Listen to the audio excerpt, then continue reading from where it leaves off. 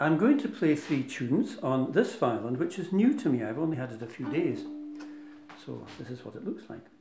There we are, one side, and the other side. And that's the scroll. And it all looks fine. Inside is a label, JTL Louis Fricot, Paris and a smudgy date, which I can't read. Um, now, JTL is Jérôme Thibouville-Lamy, and that's the name of a very large violin making firm which flourished in the 19th century and into the 20th century, and it's still alive now. Um, and they made uh, really hundreds of thousands of instruments. But the point about JTL is they never fell below a certain standard. Even the cheapest instruments, and they were all graded, even the cheapest instruments were properly made and properly supervised. The cheapest ones were things like the Medio Fino instruments, as they were called, and they were very common, still are. This Louis Fricot violin should be a fairly high grade instrument, but looking at it, the quality of the finishing makes me wonder if it actually is, and if indeed it ever was made at JTL's large uh, workshop. I don't know. Spurious labels and are, are common. Um, you'll get violins which purport to be by very fine makers, which never were near those people, and they have labels stuck in them by other people in the hope to make a, a good sale. That does happen. You also get violins with Antonio Stradivarius. I would have thought millions of them all over the world nowadays, which were not made by Antoni Stradivari, who by the way Latinized his name for his labels, hence Antonio Stradivarius. But they, sometimes they say beneath it made in Czechoslovakia or made in Germany, and there's no attempt to deceive there, obviously. Now, spuriously labelled violins are not necessarily bad violins, of course they're not. And this is a nice one. So I'm just going to play three tunes, as I said, on it. The first one is a Strathspey by William Marshall, and it's called The Banks of Spey. So here we go.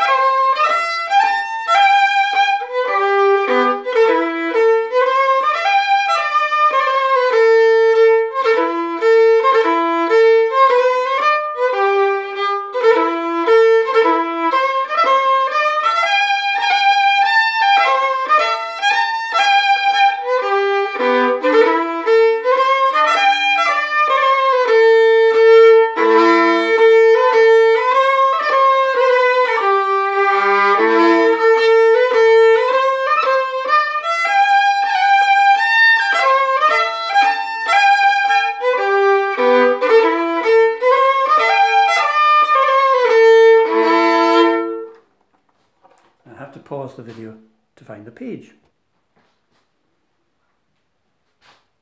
Two jigs now. Merrily Dance the Quaker's Wife, which I'll play twice because it's short, and My Wife's a Wanton Wee Thing, which is a bit longer. So here we go. Monsieur Fricot, or maybe not, playing these two jigs.